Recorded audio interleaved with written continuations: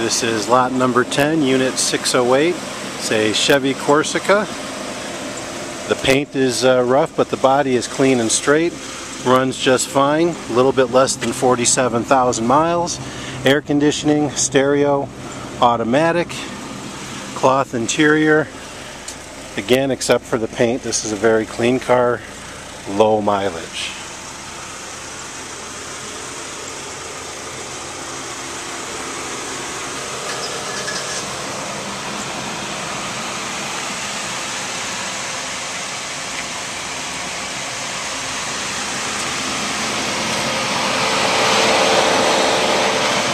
As you can hear, it runs smooth.